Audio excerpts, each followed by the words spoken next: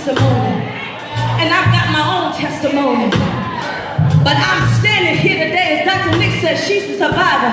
And guess what? I know there's many survivors in this room, but I'm a survivor too.